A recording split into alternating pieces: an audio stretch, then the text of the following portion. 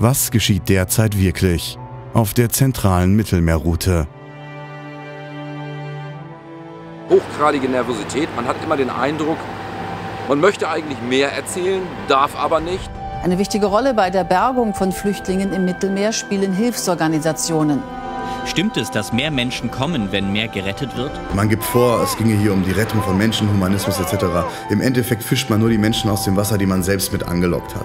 More migrants you take, more money you have.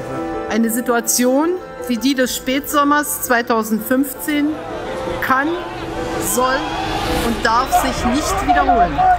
Kann, soll und darf sich nicht wiederholen. Im Hafen von Catania haben wir gerade rausgefunden, wo hier die Migranten ankommen. Und der Bus da ist offensichtlich voll mit Afrikanern. Jetzt wollen wir mal gucken, wo der hinfährt und ob wir dem folgen können. Schon der reine Wahnsinn hier. Also absolut abseits der Zivilisation. Unglaublich. Ah, der Duladis. Und demher muss man sagen, sind die Kapazitäten, die man da geschaffen hat, wirklich bemerkenswert. Es deutet tatsächlich darauf hin, dass die Aufnahmelager hier in Sizilien voll sind.